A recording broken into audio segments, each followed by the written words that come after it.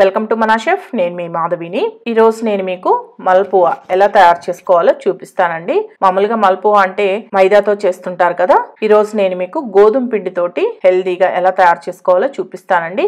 Dry fruits వేసి చేసి చూపిస్తున్నాను. చాలా బాగుంటాయి టేస్ట్. చూసారా? జ్యూసీ జ్యూసీగా లోపల సాఫ్ట్గా చాలా టేస్టీగా ఉంటాయి. మీకు ఈ చివరిన క్రిస్పీగా కరకరలాడుతూ ఉంటాయి. లోపల వైపు చాలా సాఫ్ట్గా ఉంటాయి. చాలా ఈజీగా ఇంట్లో ఉన్న వాటితోనే ఎలా తయారు చేసుకోవచ్చో ఈరోజు నేను మీకు చూపిస్తాను. తప్పకుండా మీరు ట్రై చేసి చూడండి. మీకు కూడా పర్ఫెక్ట్గా చాలా బాగా వస్తాయి. మరి ఇప్పుడు తయారీ విధానాన్ని చూద్దామా? ఫస్ట్ ఇలా ఒక మిక్సీ జార్ తీసుకొని దీంట్లో ఆరు లేదా ఏడు యాలకులు వేసుకోండి. దీంట్లోనే ఆరు బాదం పప్పులు ఆరు జీడిపప్పులు వేసుకోండి. అలాగే సోంపు హాఫ్ టీ స్పూన్ వేసుకొని వీటిలన్నింటినీ కలిపి మిక్సీకి వేసుకొని మెత్తటి పౌడర్ లాగా చేసుకోవాలి. చూడండి ఇలా మెత్తటి పౌడర్ లాగా చేసుకొని ఈ పొడిని పక్కన పెట్టుకోండి. ఇప్పుడు ఇలా ఒక మిక్సింగ్ బౌల్ తీసుకొని దీంట్లో ముప్పావు కప్పు దాకా గోధుమ పిండి వేసుకోండి.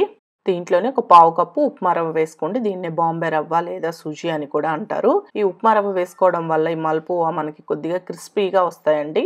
అలాగే మనం ముందుగా మిక్సీకి వేసి పక్కన పెట్టుకున్నాం కదా డ్రై ఫ్రూట్స్ పౌడర్. ఈ డ్రై ఫ్రూట్స్ పౌడర్ను కూడా వేసుకోవాలి. అలాగే ఒక చిటికెడు సాల్ట్ వేసుకోండి. స్వీట్స్ చేసుకునేటప్పుడు ఎప్పుడైనా ఒక చిటికెడు సాల్ట్ వేసుకున్నారంటే స్వీట్ అనేది మనకి పెగటుగా అనిపించదు.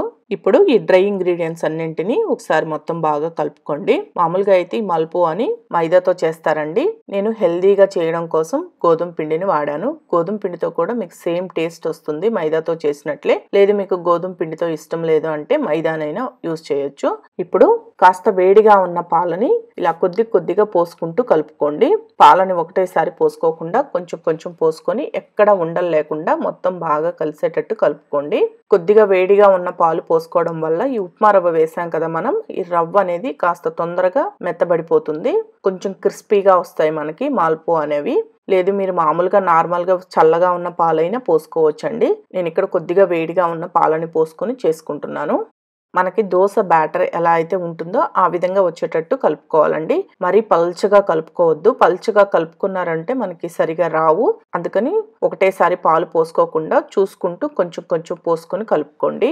ఇప్పుడు చూడండి ఈ విధంగా కలుపుకోవాలి. ఇలా కలుపుకున్న తర్వాత ఈ బౌల్కి మూత పెట్టేసి ఒక ఇరవై నిమిషాలు పక్కన పెట్టుకోండి. ఇరవై నిమిషాలు అలా పక్కన పెట్టుకోవడం వల్ల ఈ ఉప్మా రవ్వ బాగా నాని కాస్త గట్టి పడుతుంది మీకు.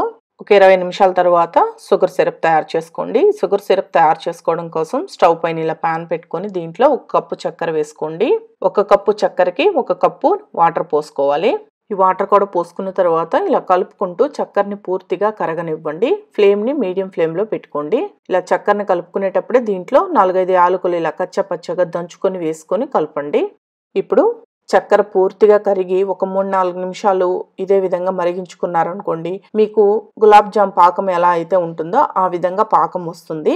వేళ్ళతోటి కొంచెం ఈ పాకాన్ని టచ్ చేసి చూసారంటే మీకు కొద్దిగా జిగురు జిగురుగా తగులుతుంది వేళ్ళ మధ్యలో.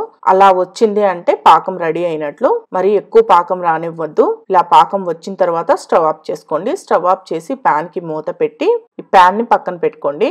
ఈలోపు మనకి ఉప్మా రవ్వ కూడా పాలను పీల్చుకొని బ్యాటర్ అనేది కాస్త చిక్కబడుతుందండి. చూడండి చిక్కబడింది కదా? ఇలా చిక్కబడినప్పుడు ఇంకొద్దిగా పాలు యాడ్ చేసుకొని కలుపుకోవాలి. మీకు అవసరం అనిపిస్తే పాలని యాడ్ చేసుకోండి లేకపోతే అవసరం లేదు. నేను కొద్దిగా పాలు యాడ్ చేసుకొని కలుపుకుంటున్నాను. ఈ విధంగా కలుపుకోవాలి. మరి పల్చగా కలుపుకోవద్దు. మనకి ఆయిల్లో వేసినప్పుడు విడిపోతాయండి. అందుకని పల్చగా లేకుండా ఇలా ఉండేటట్లు కలుపుకొని గరిటెతోటి ఇలా ఆయిల్లో పోసుకోవాలి. ఈ ఆయిల్ మనకి మీడియం హీట్లో ఉండాలండి. మరి ఎక్కువ హీట్ ఉండేటప్పుడు పోసుకోవద్దు. మీడియం హీట్లో ఉన్నప్పుడు ఇలా గరిటెతోటి పోసుకొని మీడియం ఫ్లేమ్లోనే పెట్టుకొని కాల్చుకోండి. ఒక సైడ్ బాగా కాలిన తర్వాత రెండో వైపుకు తిప్పుకోవాలి. ఆయిల్కి బదులు మీరు నేతితో అయినా కాల్చుకోవచ్చండి మల్పోవాలని. ఇలా ఒక సైడ్ కాలిన తర్వాత మరొక వైపుకు తిప్పుకొని కాల్చుకోండి. రెండు వైపులు ఈ కలర్ వచ్చేదాకా వేగిన తర్వాత వీటిని తీసి కాస్త వేడిగా ఉన్న షుగర్ సిరప్లో వేసుకోండి. వీటిని వేసుకునేటప్పుడు షుగర్ సిరప్ మీకు వేడి తగ్గింది అనుకోండి కొంచెం వేడి చేసుకోండి. అలా వేడి చేసుకొని వేసుకోవడం వల్ల తొందరగా షుగర్ సిరప్ని పీల్చుకుంటాయి. షుగర్ సిరప్లో వేసిన తర్వాత ఒక హాఫ్ మినిట్ ఉంచుకొని తీసేసేయండి. మరి ఎక్కువ ఉంచేసారంటే షుగర్ సిరప్ని ఎక్కువగా అబ్జర్వ్ చేసుకొని మరి సాఫ్ట్గా అయిపోతాయి. మీకు బాగా క్రిస్పీగా తినాలి అనిపిస్తే షుగర్ సిరప్లో నుంచి తీసిన వెంటనే తినండి. క్రిస్పీగా చాలా బాగుంటాయి. కొంచెం సేపటికి మీకు చాలా సాఫ్ట్గా మెత్తగా అయిపోతాయండి. మనం ఈ కాజు బాదం పౌడర్ ఇవి కూడా వేసాం కదా చాలా టేస్టీగా ఉంటాయి డ్రై ఫ్రూట్స్ వేసుకోవడం వల్ల. తప్పకుండా మీరు కూడా ఇలా ఒకసారి ట్రై చేసి చూడండి. చాలా బాగుంటాయి. మీకు ఎప్పుడైనా స్వీట్ తినాలి అనిపించినప్పుడు గోధుమ పిండి ఇవన్నీ మనకి ఇంట్లో ఉంటూ ఉంటాయి కాబట్టి చాలా ఈజీగా తయారు చేసుకోవచ్చు. చూడటానికి బాగుంటుందని నేను ఇక్కడ పిస్తా పప్పుల్ని ఇలా సన్నగా కట్ చేసి వీటిపైన ఇలా గార్నిష్ చేసుకుంటున్నాను. ఇది మీ ఆప్షనల్ అండి. ఇంకెందుకు ఆలస్యం? మీరు కూడా తప్పకుండా ట్రై చేసి చూడండి.